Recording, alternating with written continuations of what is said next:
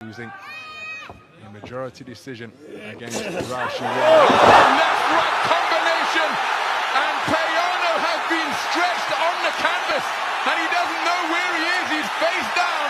The referee is holding the count, and it is all over. Was still in its nascent stages. Was all she wrote.